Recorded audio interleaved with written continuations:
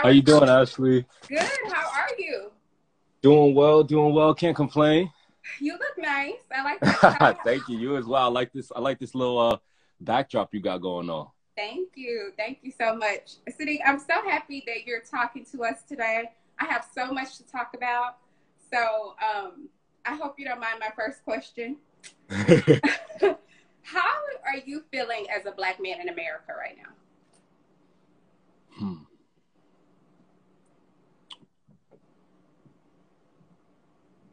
It's a, it's a heavy one. It's a complex one. Um, I feel a lot of things. I feel proud, 1st of all. Mhm. Sorry about that. That's okay. Um, I feel angry. Um, and I feel motivated um, to figure out to to continue to find specificity within my lane and how I'm going to combat negativity towards black people, white supremacy, all of that. You know what I'm saying? Right. Um, so yeah, there's some positive in there, but there's definitely some frustration, some anger, some pain, um, all wrapped up into it. So I ask you because of the state of, you know, the climate that we are in right now. You know, we can't deny it or like look away from it. It is Right. what it is. And so I posted or reposted on my story today this billboard and it had the names of black men and black women who were killed by the police while doing normal activities. So Right. jogging, going to the store. Mhm. Have you ever been in a situation where you felt nervous being out doing a normal activity like jogging, going to the store, going to the bank or what have you, just doing a normal activity? Have you felt the like tense up or the like if you've seen the police, have you felt that? Or Um, yeah, absolutely. Um, you know, I'm a black man, so every time I see the police, it's it's it's kind of like I'm allergic. you know, um, driving, you know, extra precautions precaution while driving, making Mhm. sure, you know, I just I just feel you could feel the body tense up a bit. right. Um, for me, I, whenever I'm around police or anything like that, not because I'm scared of them per se, but I just don't know. It's it's it's in in the society in the world that we live in um, this this america you know what i'm saying Right. you you don't know where some where where something can go Mhm. you know you don't know if it, it the turn you know it, it it can be it can start off as a stop for a light and then end up you know Right. You you either thrown in jail or or worse. So yeah no no i definitely um i felt that i've actually had a you know my own personal experience with run-ins with the police before and um was wrongfully you know thrown in thrown in a cell off of off of nothing off of inquiring about one of my friends who was actually you know having an issue with the police. And then i somehow got wrapped into it not somehow because i was black um and and ended up in a cell. And it's and so I've I've had that that experience firsthand. Um, don't don't wish it on anybody because it was just a, you know, it's a traumatic experience, Right. you know, and it's and it's so small because it happens to, it, it happens within our community so often, but that doesn't mean that it's not traumatic, and that doesn't mean that you don't have to heal from that, and that there are things that can come up later, you know, triggers that may come up later. Um, that I don't even know about, you know, all the protesting and stuff right now, the things of people being arrested. And you know there was for for a minute i was a little refrained from that and Right. and wanting to be kind of there because of my experiences that i've had. But um you know i still ended up going to some protests and stuff like that. But uh yeah no it's it's it's it's a hard thing. I love that you say, or not love, because I hate the fact that we even have to have these types of conversations, but the fact that you said that it was traumatic. And I feel like this is all traumatic, even if you haven't been placed in jail by police, watching the different things that we see on TV, on social media reported, it's very traumatizing to us in the Black community. Um, how have you dealt with your trauma from that? Have you, t- or do you seek therapy? Have you just kind of brushed it under the rug? How have you dealt Um, with that? Yeah i kind of originally i brushed it under the rug it was actually you know it was it happened two days before the premiere of Wu Tang actually. Wow. Um, so two days before the premiere of Wu Tang, I was in uh, Burbank, California, um, and yeah, that's how that's when I was um, wrongfully accused, uh, wrongfully, uh, you know, thrown in jail. They didn't tell me why, you know, until I got to the to the the actual you know jail and um, was booked. Why? And apparently, I was, you know. It, sorry, I, I don't. I don't really. Yeah, I, I, I think you asked you asked me how I was dealing with it, and so I said, yeah, I, to a certain extent, it is brushing under the carpet because yeah, it is such a real. It's a reality for a lot of black people, right? Um, it, within you know having run-ins with the cops within you know our communities, and so to a certain extent, it feels a little like, well, you know, this is just kind of what happens, and even that's, that's fucked up, you know. Right. Even that's right. There's so much wrong in that. Um, right. What I do, what helps me, is working out you know, staying physically fit and active, um, mentally strong, physically strong, and spiritually strong yes. um, to withstand all the the shit that we face as Black people living in America. So Thank I feel like that's self care is is the way that you you can work through all you know all of those things is by making sure that you are strong physically, mentally, and spiritually. So. Thank you for sharing that because yeah. people need to know like how can they work through those emotions. Mm-hmm. So thank you for sharing that. So, Siddiq, you grew up in Brooklyn, is that right? Yes. Um, yes. What was your childhood like as a child? Did you what What did you dream of doing? Did you want to be a teacher, or was it always I wanted to be an actor? How was um, low key, it was always it was always acting for me. Okay. Um, yeah, like I remember I was like in kindergarten, I think, when I did my first play. Mm-hmm. And uh, I played Arthur, Arthur the Aardvark, you know, the, the yeah. Arthur TV show. We did like a little play version or whatever. Um, so yeah, I was just like doing plays in school mm-hmm. and always kind of drawn to that. And then I went to a middle school for um, for drama. I was in the drama pro- program in uh, middle school and high school, and then eventually in college.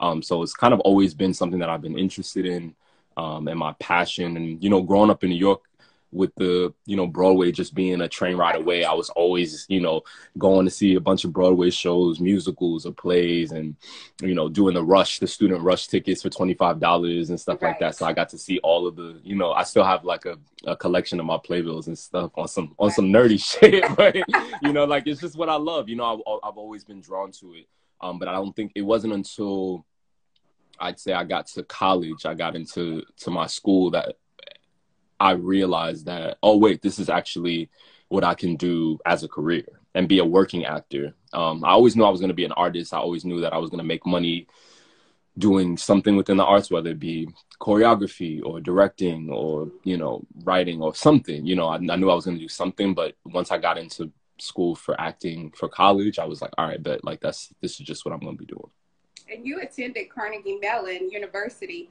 How did that prepare you for where you are today? That um, for me, it was um, I think a couple things. It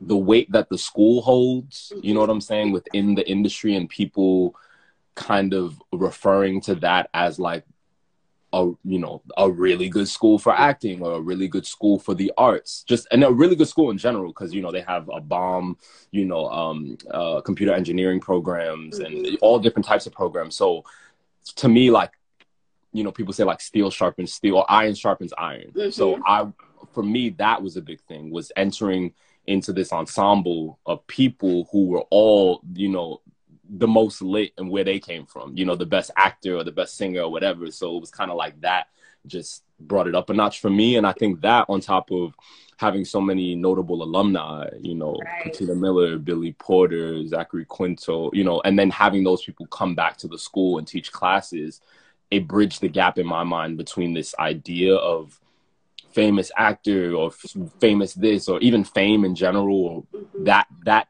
that came down to working actor, working person, you know, like something that was achievable. So then it wasn't about, you know, it's never really been about the fame or anything like that for me. It was always about the craft and right. also being able to support myself. Yes. And so I, here I was going to the school that was teaching me all of these things, all of these techniques, um, that I can use, you know, within my acting.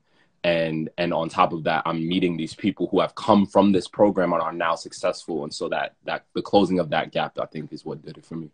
Let me ask you this, Siddiq. I've asked this question before to people that you know are trained and they go and educate themselves in the field of acting.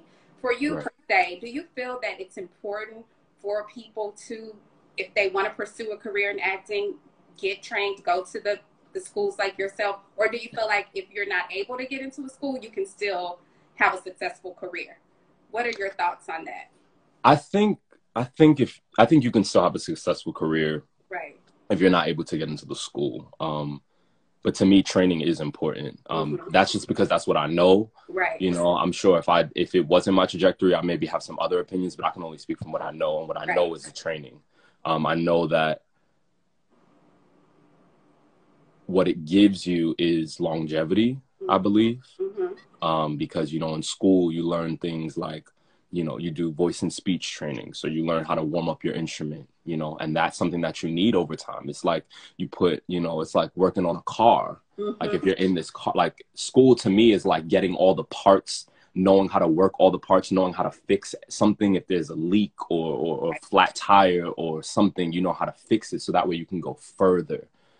Whereas, yeah, you may have this really nice car, this really cool, flashy, you know, you may be this real cool, interesting person that everybody loves right now, and you're right. this flashy car, but how are you going to feel after a hundred thousand miles of driving mm. or 50,000 miles or even 25,000 miles? You may break down and you don't have no tools to fix it.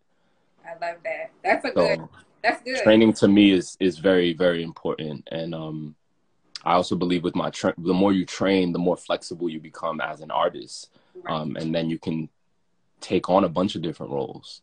Because I think that that's what you know the acting is is right. when you can you're not necessarily the character that you're playing, but yet you can you have the skill set to transform into this person. And be believable within these circumstances and have the audience be like, oh yeah, like that's so and so from the show, you know, right? Stuff like that. Yeah. I love that. So your training prepared you very well for uh, your role as. Thank you so much.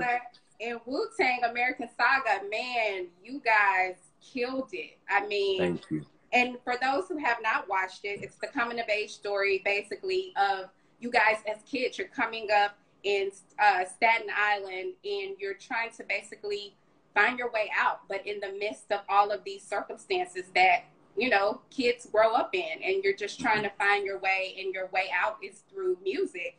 Talk right. to us about how you got this part, this role. I mean, you you killed it. I'm like, yes. Thank you. Thank you so much. Talk to Thank us about so this. Mm-hmm. Um, yeah. So, uh, I auditioned out in LA. Actually, I was living out there at the time. Mm-hmm. Um, and I remember getting my first audition, and I didn't really know. I think I actually originally auditioned for um, Bobby.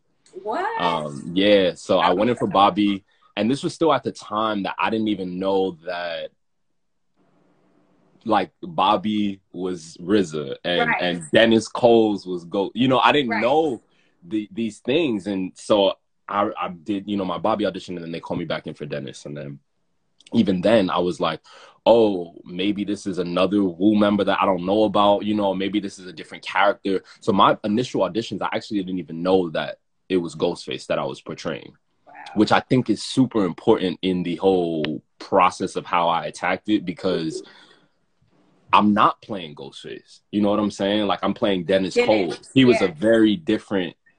You, that was like the seed of this huge tree that everybody knows. You know what I'm saying? So it's like I really was trying to figure out that person before I tried to attach all these other preconceived notions, you know, about who, you know, Ghost is. Right. Um. So, yeah, that was that was the process. I you know I, I originally, you know, did my did my audition for Dennis. Then it was some time, some time passed, and then I got a call back, and I was like, okay, bet. You know, that's when I met uh, some of the producers, and then I had my. Um, I think I had a, uh, my producer session. That's again where I met some of the producers. I think that's where I met RZA the first time, mm-hmm. and then uh, I, the last last step was a, a, a chemistry read that I had with um Zolee.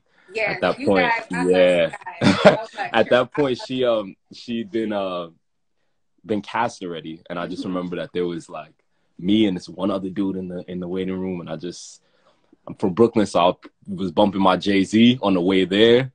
I was in that you know waiting room listening to Jay, you know listening to Jay, listening to some Wu, you know mixed in there, and Mhm. and was just like this is my role. Um, and I went in there. I remember the, you know, I forgot what the, I don't know who the gentleman was, but he came up to me and was like, "Yo, bro, like, good luck." In my mind, I'm just like, "Don't wish me too much, bro, because this is a wrap." I I already So, got um, it. yeah, so so it was one of those, but um, so yeah, that was the process of getting the role. And so then you find out you get it. How, how do you find out? Do you get a call from your agent, your manager? Yeah, Where are you I- when you get the call? Where are you? I remember getting that call too because it was a, it was a lot of back and forth. It was like they, this person really liked you or that person really, you know, and and for me, my main, you know, something that came up for me that almost was like a you know pause was the fact that I was a newcomer. You know, so you here here I am in between, you know, Ashton Sanders from Moonlight and, you know Shameik Moore from Dope, and I didn't have no, you know, major credits on my resume. Um, I was I was a, a guest star on Boomerang on Right. BET, and then I also had a recurring role on Messiah for, on Netflix. But other than that, you know, I didn't have this long list of of you know things. So a lot of it was like, oh, well, can we trust him or da da da da? Is he is he prepared to to carry this? But um, I was. I was. So I'm glad. I'm glad they, you know, took that chance, you know, Yeah. on me. Um, I'm re- I'm really thankful for the opportunity for sure. Um, but I remember getting a call because I so I say all that to say, leading up to it, it was a lot of conversations where I was like, so did they, you know, like keep Mhm. calling my agents, um, you know. I was calling my agent. I was calling my manager. I was trying to figure out, you know, and they was still kind of like, we we doing. They they were making their calls to their people, and it was still kind of so much in the air. I think the night that I found out, I was on my way out. It was on a Friday, I believe.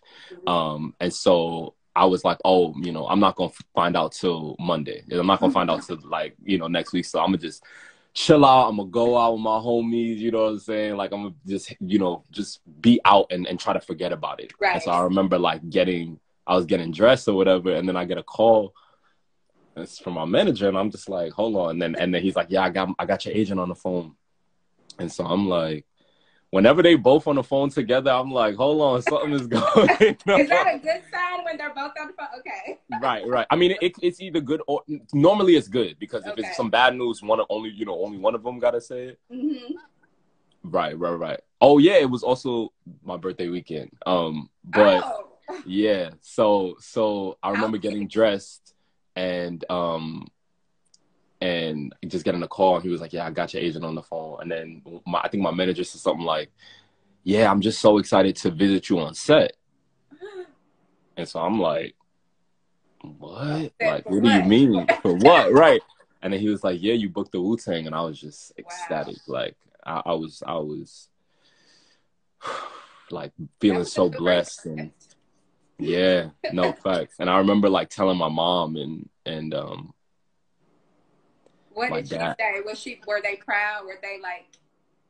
Yeah, yeah, because they've been they've they've been you know my mom you know especially my mom has been such a support uh for me throughout the entire process.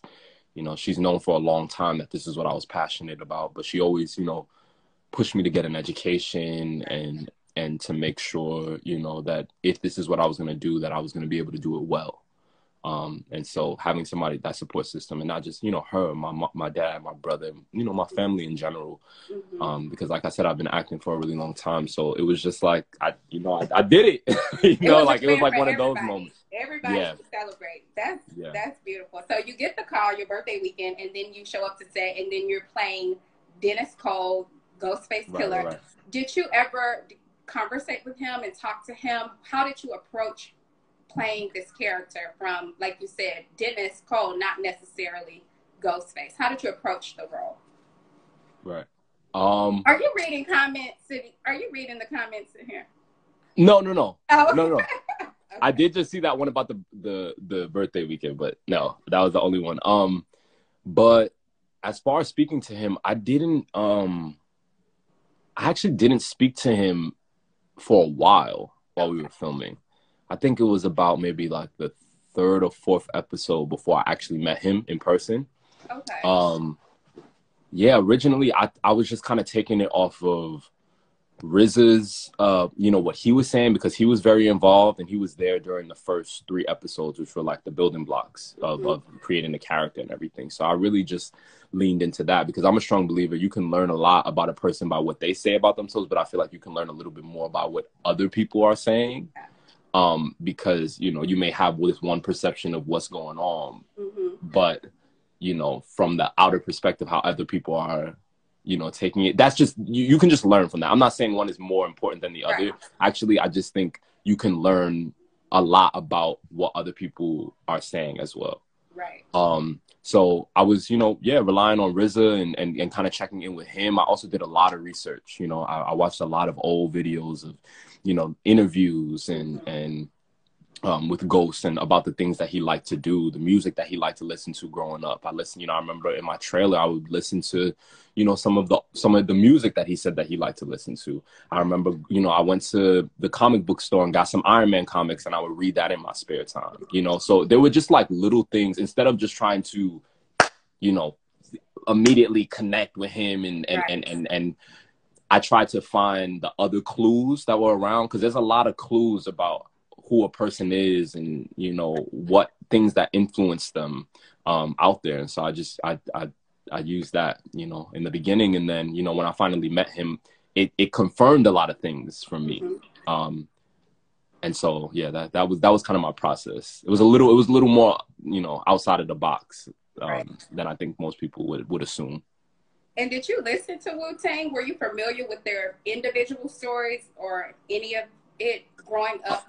You grew up in Brooklyn. Did you know about them? Obviously. Yeah, yeah, you know, I, I definitely, definitely grew up uh, listening to their music. Um, I was familiar with their music. I wasn't like a, a Wu head necessarily, right. but I was definitely familiar with, you know, M E T H O D man and Cream, of course. Um, so there was there was certain things that I knew about this story um, before we started, but there was so much that I learned, and and and I was so happy to have that a little bit more again like a more of an open mind approaching it right. because I didn't feel limited. There were certain things that I was able to do or ways that I was able to think about these characters that it, I think if I had been such a huge Wu fan and a huge Ghost fan that right. that would have that would have caused a block for me in developing this character, you know. Cuz some of, you know, some of the some of the the story that we telling is factual and some of it is more fictional for the story. So again, there's even that distance, you know, within that. And so I think that that is important to have a little bit of space. Um, even when you are playing a real person as an actor, I like to have a little bit of space so that I can do a little bit of my thing and create something for the audience. Because at the end of the day, we telling the story to the audience. You know, mm-hmm. it's for y'all. You know, so. Well, y'all told it to us well because you guys got picked up for season two. Yes, um, yes. We, I'm so excited for season two because I felt like the way it ended, it's so much more. Obviously, it's so much more because you guys, you hadn't even really got, you guys hadn't got started the way it ended. So if you guys hadn't watched it, go and stream season one on Hulu right now. But yes, I'm so excited about season two. Talk to us a little bit about what we can expect if you know anything, and also we were missing a few people. Uh, U-God, are we going to see U-God and Cappadonna in season two? Will we get a little bit of that in you and Raekwon's like evolving of your? Right. Will we get break it down for us? Season two, what can we expect? See, I wish I have more to break down for y'all, but I really don't. You know what I'm saying? With the pandemic, um, everything, all productions were put on hold, and it affected a lot of our scheduling. Right. Um, so I'm I'm looking forward to it just as much as y'all to get to know the story and and, and new characters and stuff that's going to be introduced for the next season. But I don't I don't know. I don't know about season two. Um, but we definitely will be, you know, starting back up soon once all this Corona stuff yeah. dies down a little bit, um, and not even dies down, but just start to understand it more, so then we can work around it. Um, but we haven't been on set, so I'm I'm sorry to. I know a lot of people have been yeah, people dying like, for some information, but but I don't I don't have the information. I'm dying for it too. So yeah, we we're excited because I think it was supposed to be coming out at the end or tw- the end of this year, like in because mm-hmm. it came out in September of last year, so I think it was supposed to be coming out around that same time of this year, but probably not. Coronavirus has taken over our yeah. our world. Um, we'll be looking out. Coronavirus. I know coronavirus. We'll be looking out. So keep us posted on that. So Messiah, talk to us about that. You played yes. Keon Woods. Talk to us a little bit about your character, Messiah. Um, yeah, so Keon was um he was a college student. Mm-hmm. Um in the first season, uh I think it was funny because when I read the, the, character breakdown, I was like, dang, this sounds a little like me. Yeah. Uh, which is cool. Um, but yeah, he was just a college student. He was a hardworking kid. Um, I know his like his uncle was in the CIA and mm-hmm. um, you know had a tie to Eva. He was like really intuitive and um, a scholar, intellectual. You know what I'm saying? And and but then his by the end of the season, he kind of with the Messiah arriving and not knowing if it's real or not real or you know what um yeah just like where he stood within his own beliefs it started mm-hmm. to lead him into a little bit more of a rebellious spirit. Um, I mean, I wish I had a little more time to, you know, develop him, and I was, you know, I was meant to come back as a larger role, or so I was told for the next season. But we actually, uh, Messiah got canceled for season two. So I saw that. Yeah, I think it was, a, I think it was a little too hot for the people, especially with all that's going on right now. So I, I completely understand it. You know, I, am a firm believer that what's meant to be will be. Yeah. So it just that that that role just wasn't meant to be it did receive some backlash in regards to like the uh, Muslims and how they were depicted or whatnot. Um, loved you in that too. I mean, you are the thebomb.com. but um, Siddiq, Romeo and Juliet. This is yes. exciting news, right? Yes. Because you this is a full circle moment for you because you actually played Romeo um, yes. in a play when you mm-hmm. were like what 21 or something. Talk yeah, to us yeah. about this full circle moment of you played Romeo. In a play growing up, and now you're going to be portraying and starring in a remake, if you will, a mm-hmm. modern day take on Romeo and Juliet. Talk to us right. a little bit about this uh, show, this movie rather, and when we can see it. Yeah. So, um, yeah, it it, it is. Uh, it was a blessing because I definitely have some experience. You know, I mean, even in school, we we studied Shakespeare. We had an entire uh, semester, of, two semesters actually of, of, Shakespeare. So I, you know, trained in it, and like you said, I was I played Romeo in um, Chautauqua uh, yeah. uh, Theater Company's uh, production back in 2017, I believe. This was right before I moved out to LA. Okay. And then right after um, Wu Tang happened, I remember my agent saying like, "Yeah, we got this audition for this Romeo and Juliet movie." Uh, the director Carey Williams, he's you know up and coming black director, really dope. Had some you know accolades from Sundance and had his you know movies in the film circuits and stuff like the festival circuits, I should say. So I was really excited, and I was like, "Oh, dope!" And you know, at the time, you know, back when I played Romeo, I feel like I was a very Romeo esque time in my life, but now I'm playing Mercutio, who's a little bit more wild, a little more brash, a little more out there, and I definitely feel like that aligns with kind of what, what's going on in my life right now. So definitely a blessing. It was it was um yeah, really really dope experience. I got to work with some really dope artists, uh, Camaron Engels and R.J. Cyler um, we that's you know Romeo, uh, Benvolio, Mercutio. We are all black. You know, working with black men. That that was a really dope experience, and also just being able to reimagine this right. very classic mm-hmm. love story that's always you know most of the time whitewashed in a different way because it's you know black Romeo is black and uh, Juliet is Latina. So mm-hmm. and I'm and I'm Afro Latino. I'm Puerto Rican as well. So I was around my people, you know, on set, and so it was just really yeah, we really just got to create something really magical and and and really different. And I hope everybody that's watching that knows me from Wu is ready for it because I'm playing a completely different character, and I and I love it. Here saying that they want you to be their Romeo. People are like with the they're thirst trapping. They're like, wait a minute, can you be our Romeo? so hit me up, hit me up. we'll yes. See. I love it. So, and when is it? When when can we watch it? When can we see it? So that was another thing that was kind of you know thrown by the Rona. The Rona just came and wiped, done wiped up everything for everybody. Right. Um. But uh, I, that should be releasing, I think, later or, or, either later this year or at the beginning of next year.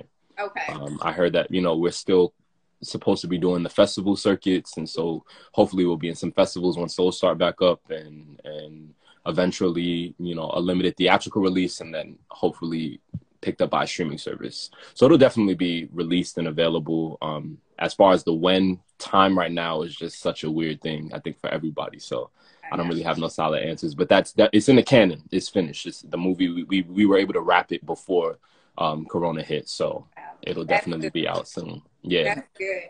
Um, yeah. So let me ask you this: How are you? How have you protected your mental state? I know we talked a little bit about self care at the beginning. How have you protected your mental state during quarantine throughout this whole process of you know being on the go, being on the go, having these projects that you were set to film, and then them all coming to a halt?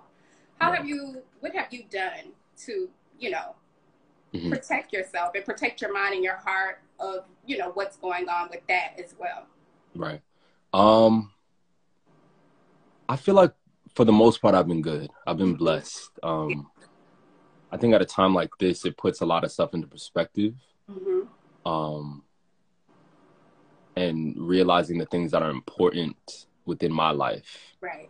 Um, and always just taking note of that, checking in on that, because that that evolves and that changes as we evolve and as time, you know, continues. The things that may be important to you right now may not be important to you in a couple years or in a couple months or in even a couple days you know so i think like have like having that awareness and continuously checking in on the things that i need um, that on top of like i said just being tr- trying to stay physically active. Mm-hmm. um, so i started you know for a while i was doing some yoga and you know run, going on runs and bike rides and stuff like that is always um, helpful for me because health is wealth. So if i'm physically feeling healthy and i'm feeling good then um, my spirits are normally aligned with that. Right. Um, i also just uh, you know came off of ramadan uh, the holy month of ramadan because i'm muslim um, and so i was able to fast and that for me actually was a the grounding that I needed in a time of chaos uh, in the world. Because, you know,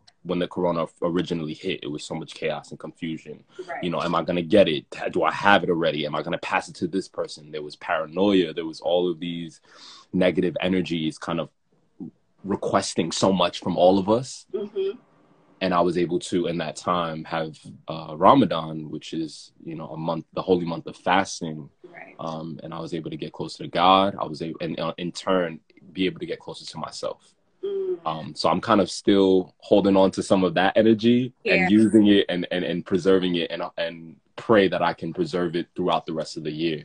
Um, because you know within that you, you fast, you don't eat or drink water for while the sun is up, mm-hmm. no smoking, um, no drinking alcohol, no try, no cursing. Mm-hmm. You try to refrain from gossiping. You try to refrain from just any of that energy that could be put into something positive.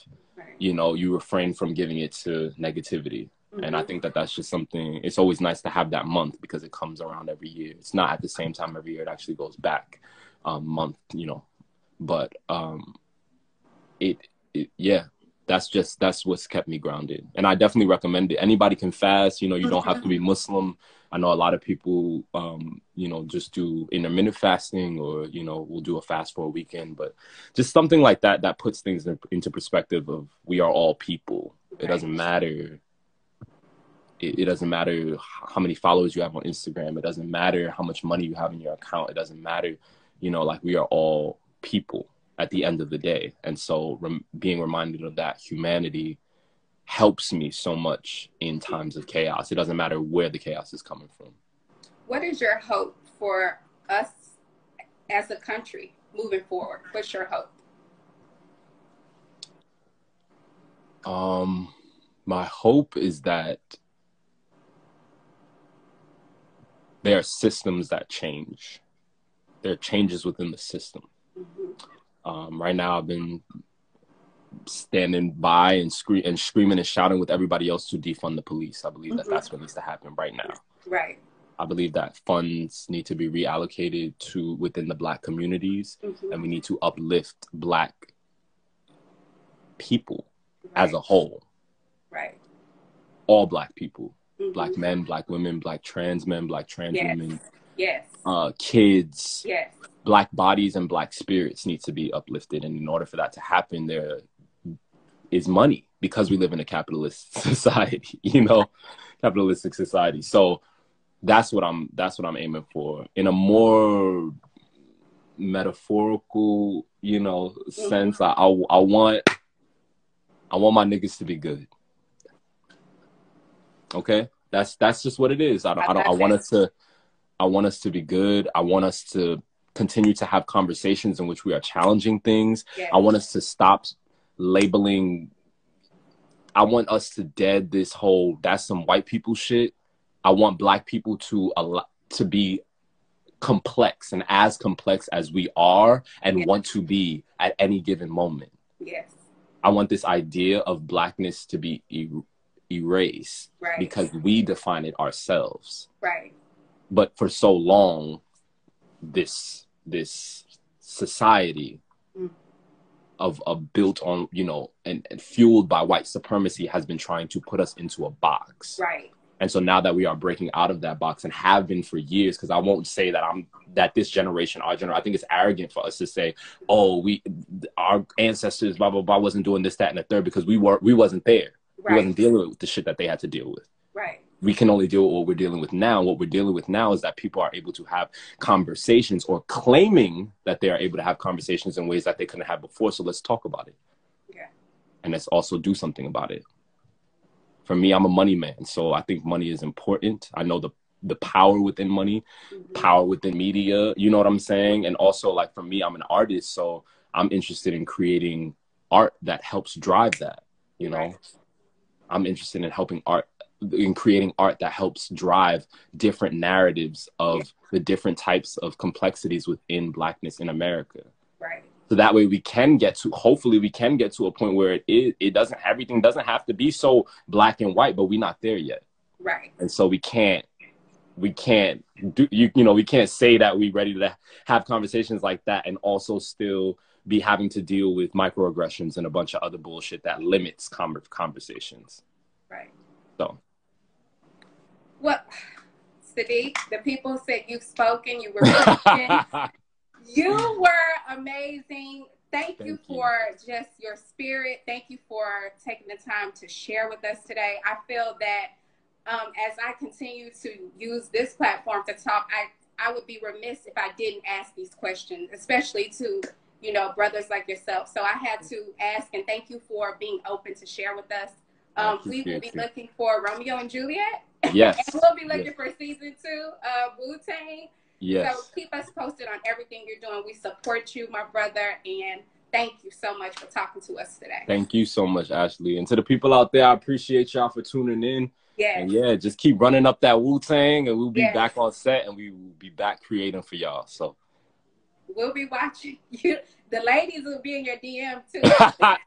y'all, can, y'all can pull up. Y'all can pull up. I'll be in there too sometime. Ladies, y'all heard that pull up. Thank you so much, Siddiq. I appreciate All right. you. Okay. Thank bye. you so much, Ashley. You're Bye-bye. welcome. Thank you. Bye. Where's the buzz? Oh, yeah. Where is the buzz you said was oh, mine? Where is the buzz?